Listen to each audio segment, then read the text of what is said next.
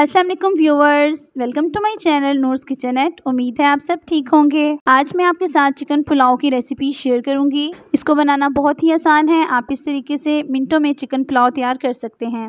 और ये चिकन पुलाव बहुत टेस्टी बनता है। तो चलें जी रेसिपी स्टार्ट करते हैं।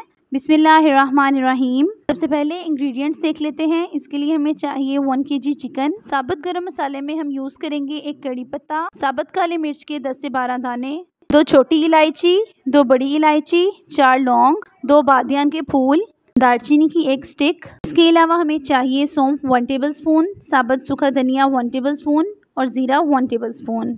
एक मीडियम साइज़ का टमाटर चॉप कर लेंगे। दो दरमिया साइज़ की प्याज लेंगे और इनको बरीक बरीक काट लेंगे। हसब ज़रूरत नमक यूज़ करेंगे सुरख मिर्च पाउडर यूज़ करेंगे वन टीस्पून और काले मिर्च पाउडर यूज़ करेंगे वन टीस्पून।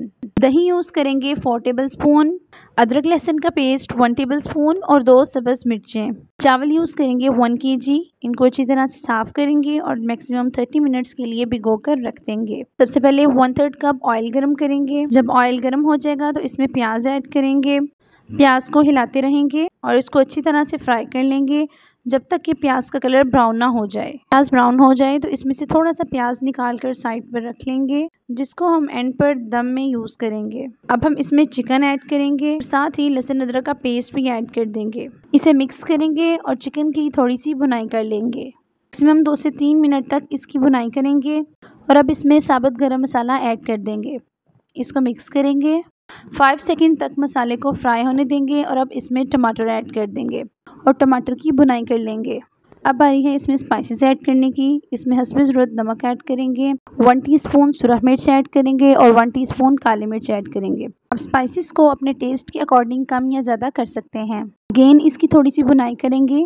जब टमाटर थोड़े से सॉफ्ट हो जाएँगे तो अब हम इसमें three to four table spoon दही ऐड कर देंगे। इसको अच्छी तरह मिक्स करेंगे और अब दही की बुनाई कर लेंगे।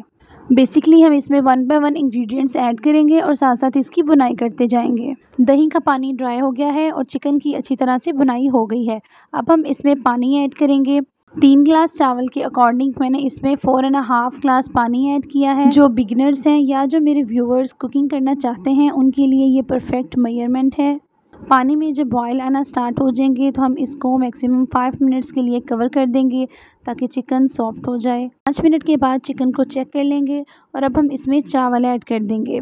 चावल ऐड करने के बाद एक मरतबा इसको अच्छी तरह से हिला लेंगे, और इसको कुक होने देंगे। जब चावल का सारा पानी खुश्क हो जाएगा तो लास्ट में इसको एक मरतबा फिर अच्छी तरह से हिला लेंगे। जो फ्राइड प्याज हमने साइड पर रखा हुआ था, उसको चावलों के ऊपर फैला देंगे, और साथ दो सब्ज़ मिर्चें भी रख देंगे। चावलों को मैक्सिमम 10 से 15 मिनट के लिए दम पर रख देंगे।